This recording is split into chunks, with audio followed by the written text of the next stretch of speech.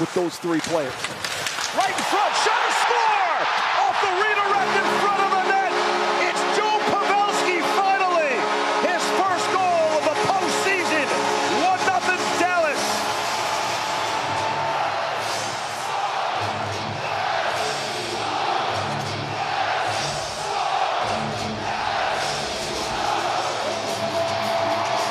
It's not a surprise Pavelski's on the board. What is a surprise